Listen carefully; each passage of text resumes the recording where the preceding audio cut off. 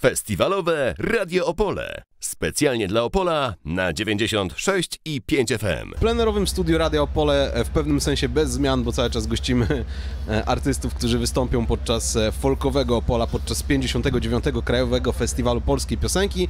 No ale zmieniają się artyści. Pojawiły się u nas Dominika, Patrycja i Tulia, czyli Tulia, cześć. Cześć, Cześć. E, Występujecie podczas folkowego koncertu, odwołując się do tego no, triumfalnego występu w Opolu mm, w 18 roku. Ja wiem, że zawsze jak ktoś jest w Opolu i występuje, to jest bodźcowany i, i, i ma powiedzieć, że było super, ale faktycznie to był taki ważny dla was moment. Ja pamiętam fajną konferencję prasową w Bierkowicach, pamiętam, że wystąpiłyście z Jeszcze Cię Nie Ma, czyli autorskim utworem, później pojawiło się więcej autorskich numerów, także chyba jest jakiś takich czar wspomnień. Tak, e, my, my możemy e, też powiedzieć, że my uznajemy Opole jako taki nasz e, początek. Debiut w zasadzie, Znaczy bo to debiut? był nasz pierwszy występ jako zespół Tulia, taki samodzielny występ, bez żadnych fitów. I, I to był nasz pierwszy występ z naszą autorską pierwszą piosenką. I e, miał świetny odbiór wśród publiczności, wśród jury, no bo tak jak sam powiedziałeś, to był nasz triumfalny występ. I rzeczywiście e, my go wspominamy bardzo fajnie, bardzo miło. E, I może to się tak trochę mówi, że ktoś wymaga, że, że będąc w Opolu wspomina się te e, przeszłe koncerty i, i trzeba dobrze o nich powiedzieć, ale my chyba naprawdę tak uważamy. To jest niewymuszone w naszym przypadku. Pytam też o to w kontekście tego, co później się pojawiło, bo później pojawiła się płyta wasza debiutancka w wersji deluxe i tam było znacznie więcej autorskich utworów.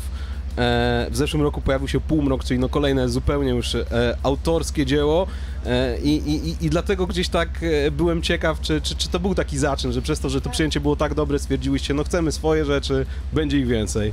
Tak, to chyba był też taki sprawdzian troszeczkę dla nas, bo my nawiązałyśmy współpracę z osobami, z którymi do tej pory pracujemy, z Marcinem Kindlą, z naszymi muzykami, wówczas tak dla eksperymentu, a że to się naprawdę spodobało, faktycznie można powiedzieć, że zaczyn i super wypieki, dalej z tego robimy, pieczemy dalej płyty.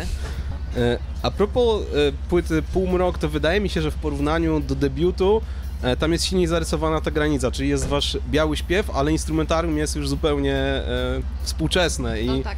i ciekaw jestem, czy o to wam chodziło, że skoro zależy wam na, na popularyzowaniu białego śpiewu, skoro chcecie się trzymać e, tych ram, żeby, żeby jednak e, no, zachować taką swoją tożsamość, to jednak w kwestii instrumentarium e, powinno być coś innego, żeby, żeby był taki zgrabny, inny miks. I było. Tak, to Tak. było od początku zamierzone i zaplanowane, żeby w ten sposób właśnie to wyglądało. E, I zawsze podkreślamy, że nie jesteśmy właśnie zespołem ludowym, czy jakimś tam folklorystycznym, tylko folkowym.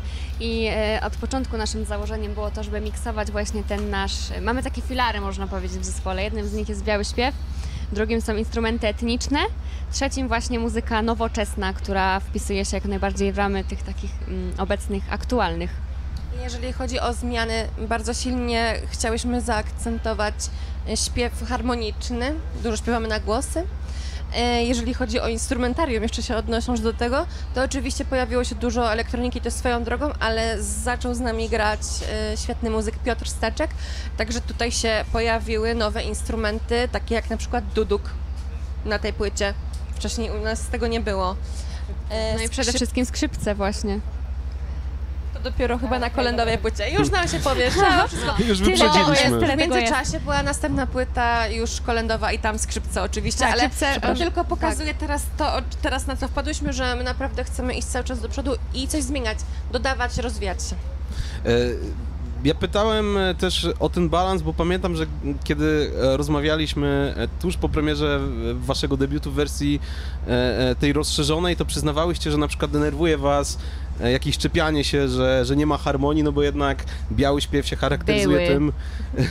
Ale niektórzy twierdzili, że nie, ale, no, ale zaznaczałyście, że, że, że też nie o to chodzi do końca, bo chcecie jednak e, gdzieś trzymać się tych etnicznych wzorców. Jestem ciekaw, czy na przestrzeni lat stwierdziłyście, że, że będziecie to robić tak, jak chcecie, już bez e, oglądania się To na to, co... zawsze, zawsze robiłyśmy jak chciałyśmy i stąd się pojawiały te komentarze, tylko chciałam powiedzieć, że to jest nieprawda, że biały śpiew charakteryzuje się harmoniami. Zależy w którym regionie W którym kraju? i w którym kraju. Zespół Zazula zresztą, który gościł dzisiaj e, w festiwalowym studiu też powiedział, że e, czy dziewczyny powiedziały, że mm, e, jest to zróżnicowane, że, że trudno e, sprowadzić wszystko do wspólnego mianownika. Słuchamy Tuli w Radio Pole, a do rozmowy wracamy za chwilę. W plenerowym studiu Radio Pole e, cały czas mamy e, przyjemność gościć e, Tulię. Rozmawiamy o występie podczas koncertu Folkowo Opole, ale też o całym rozwoju grupy, o tym, co się działo od między innymi 18 roku, od występu podczas festiwalu opolskiego i pojawił się temat półmroku i wydaje mi się, że czymś bardzo fajnym, jeżeli chodzi o tę płytę, jest e, jej taka wielobarwność w sensie muzycznym i, i też mi to się ładnie sprzęga z tym, że zawsze mówiłyście, że słuchacie totalnie różnych rzeczy. Jestem ciekaw, czy tak było, że każda z was chciała, e, jeżeli chodzi o to, jakie piosenki się znajdą, o to, jakie wybierzecie kompozycje i, i, i teksty na tę płytę, e, żeby no, był taki reprezentant e, waszej wrażliwości, każdej z was. Może nie, ale przy okazji się znalazł i każda z nas e, jakiś inny utwór bardziej sobie ukochała, ale Półmrok to jest przede wszystkim e, prawdziwa historia.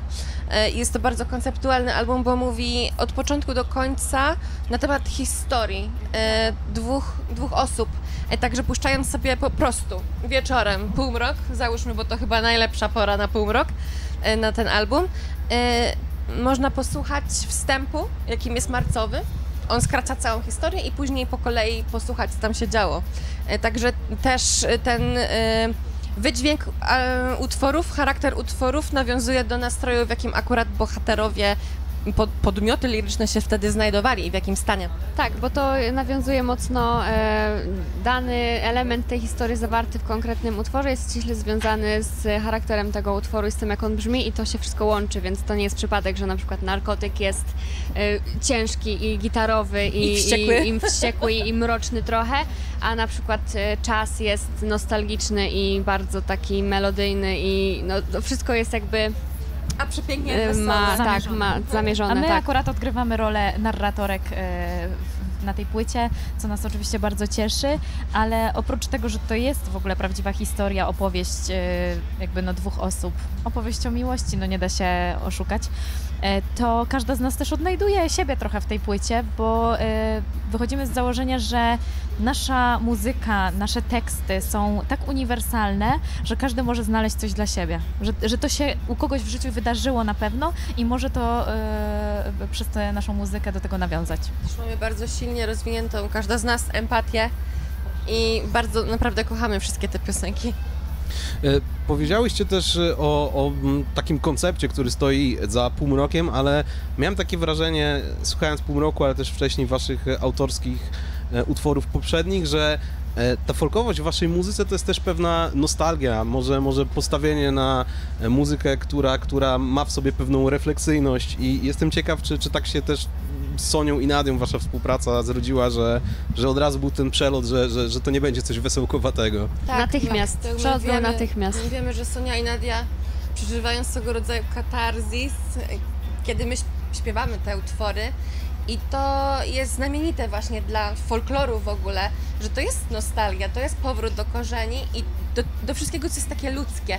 Proste, nie prostackie, ale ludzkie. Mamy- Emocje i, i życie. Mamy też wrażenie często i same, i słuchając słuchaczy, obserwując też ich reakcje, że, że ten, ten wydźwięk tych tekstów i tych wszystkich emocji, które dotyczą każdego człowieka w tym wydaniu w wersji śpiewu archaicznego po prostu mocniej do ludzi przemawia i mocniej oni to czują.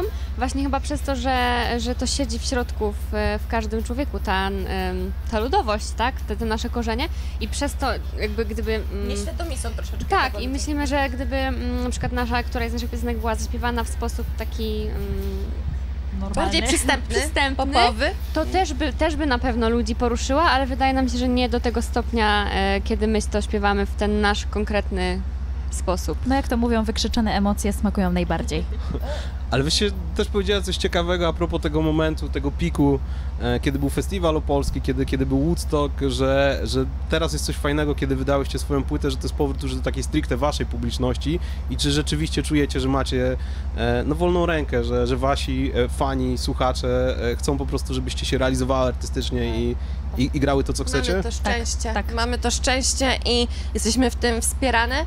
I tak naprawdę cały czas, jeżeli można powiedzieć, że menadżer pomaga i prowadzi, bo tak jest z nami, z Marcinem, on nas wziął za rękę i prowadzi poniekąd, realizujemy wspólne koncepty, y, to cały Czasem czas ma jest... ciężko z nami. Tak, y, cały czas jest to tak w taki sposób, że yy, kurczę, idziemy tą swoją ścieżką, idziemy za ręce, ale tą swoją ścieżką jesteśmy w tym upewniane, że to nie chodzi o żadną kas- kasę, o żadne wyniki, jakby oglądalności, bo to, to było przy okazji w jakimś tam momencie.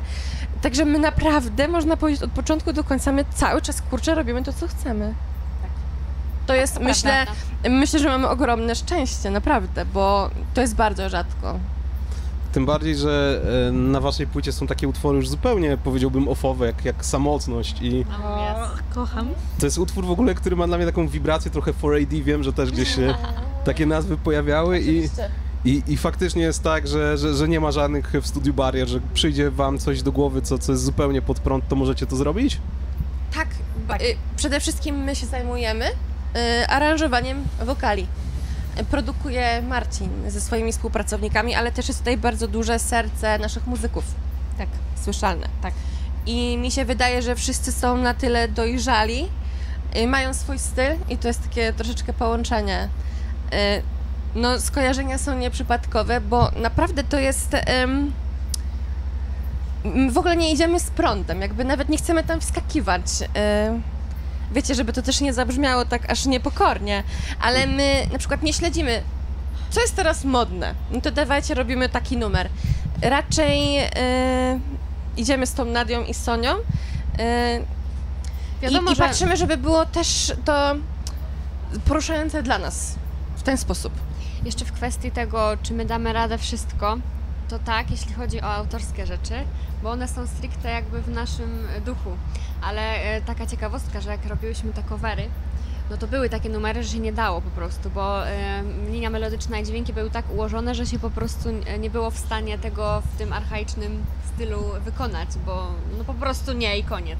Ale jeśli chodzi o autorskie rzeczy, to naprawdę nie było jeszcze, nie było takiej sytuacji, No, mamy że- zawsze że, wolną no, rękę w zasadzie i, i to tak jak Tulia powiedziała, my aranżujemy Tak, wokale, nie- nie- my też- dokładamy głosy, jak to tam chcemy, żeby wyglądało. Szalejemy. Nie było takiej sytuacji, że wyszliśmy już do studia, mając jakieś tam pierwsze wstępne przygotowania jakiegoś utworu i nagle wyszło, że oh no, tego Z- się nie da. Zauważyłyśmy też, że dostajemy mm, czy surowy materiał, jakąś tam linię melodyczną i tekst i Marcin nas po prostu wpuszcza i mówi, dobra, śpiewajcie, daje nam e, taką wolność, to chyba też nas nakręca mocno. E, wtedy my stajemy się faktycznie kreatywne i tak się zżywamy z tymi numerami, no bo jednak e, praca nad kawałkiem troszeczkę trwa. My mamy czas, żeby też przetrawić te słowa i troszeczkę przez siebie przefiltrować i to później wybrzmiewa. To jest takie ciekawe, bo my jesteśmy we trzy zupełnie różne, ale też bardzo podobne. I chyba tą energię wkładamy po prostu swoją w to. Może dlatego to jest takie.